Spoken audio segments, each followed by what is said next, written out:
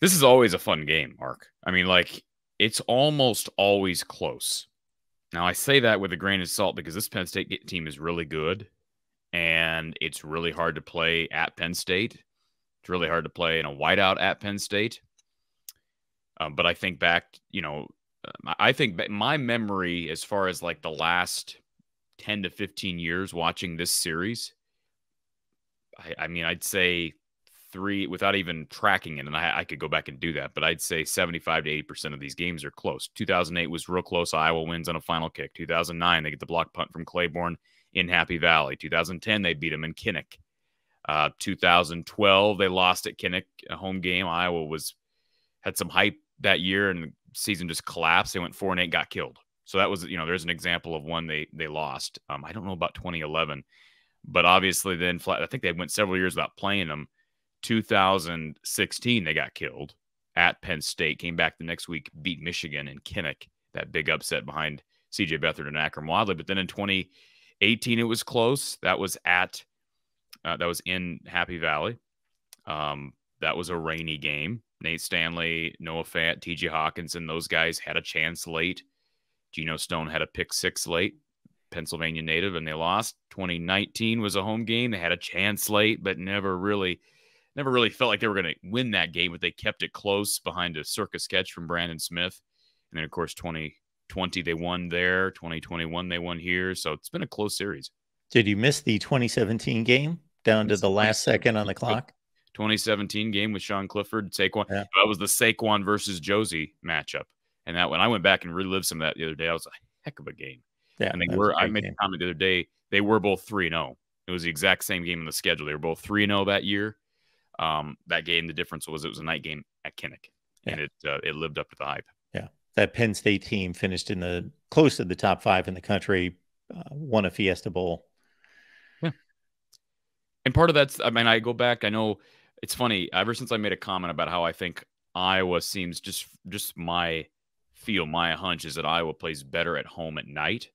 I've had uh, some viewers, one specifically named Austin. I, I don't know Austin's last name, but he's jumped on my post game show a couple of times, Mark. And he and I can even send you the. I'll have to forward these emails to you. He's actually went through the data and like has all the data from how Iowa's played against top 25 teams at home, top 25 teams at home at night, top 25 teams on the road and on the road at night. And the data doesn't really is not a real strong indicator that they do play better at home at night, which I guess is a good thing for this Saturday because maybe that's an indication that they have just as good of a shot if it, you know, if it was at home. I have a hard time believing that because a whiteout is insane. Um, I'll tell you the last time I I think 2016 was a whiteout. Maybe Marty when he jumps on here can tell us, but 2009 that's really the one that stands out because, and, and Kirk brings it up every time he talks about this series. You you probably remember that game as well as 14 years ago, Mark. But what first play of the I think first play from scrimmage, they go Penn State goes like 75 yards. Daryll Clark down to I don't know who the receiver was on a, on a busted play and they strike gold on the first play from scrimmage, and that crowd is just absolutely insane. And so that's one thing that I, I, I kind of came to that realization today. If you're an Iowa fan, here's one strong reason to feel good. Not saying they're going to win, but feel strong reason to feel good is the fact that Iowa gave up several big plays on Saturday. And you may say well, that doesn't make any sense, Corey. That's an indication that that's a reason to feel bad. They're not going to give up those plays this coming Saturday. I think that's a wake up call. I don't care who it's against. They came out in the second half on Saturday, allowed just 35 yards to a bad Western Michigan team. But I would I would say there's a good chance those mistakes are not replicated this weekend. So that's why I would say it was good that they gave up those those big pass plays in the first half Saturday. Folks, we take your comments and questions. Of course, the super chats stand out, so we get to those first, and then we don't guarantee we take every comment and question, but uh, we appreciate when you do uh, send those in. We got Marty Leap here from Penn State Rivals to uh, join the conversation and break this one down because this is a huge one right out of the gate in the Big Ten. Marty, how you doing today? Hey, Marty, can you hear us? My bad. I was still muted. There That's we are. I can't hear you. But no, I'm doing good. I'm doing good. Appreciate you being here uh, for a second consecutive day. So Marty joined us on the Big Ten Live show yesterday. So Marty, appreciate you coming back. Uh, I will get the conversation started. And then it might be best if I get out of the way because I got two very knowledgeable guys that can mix up a series that, again, I was racking my brain for cross sectional games in the Big Ten. Michigan, Minnesota, that is a rivalry, regardless of how good or bad the series is. Ohio State, Illinois, some old timers might say it's a rivalry. It's very one sided, but they play for a trophy, blah, blah, blah. This has been the best game that I can come up with between one division foe going west east matchup that I can think of because yeah, the the other ones would involve automatically on the eastern side Ohio State and Michigan and certainly Ohio State has not had this kind of a series in regards to being pushed uh, at all in the West. So this has been quite the series, Marty.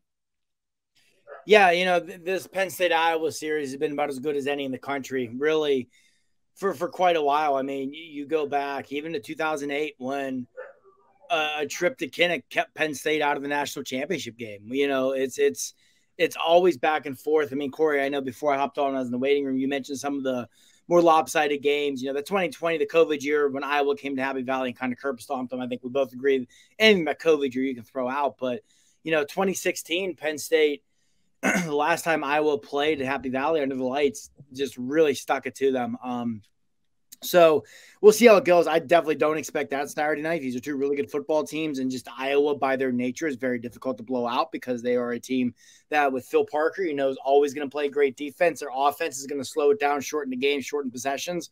Um, but yeah, Mark, I totally agree. You know, Penn State doesn't, and some of it's just because of when they came into the conference compared to these teams who've been there forever, has never really had that true natural rival in the Big Ten. But I would argue in some ways it's Iowa because they're two teams that you know since Penn State's joined the Big Ten, they're 11 and 11 against each other. They're always two good teams. Are usually in the upper echelon of the Big Ten, and you know I think some of it too within the last decade plus. There's a lot of bad blood between Penn State and Iowa fans on the wrestling mats. A lot of that spills over to football and vice versa.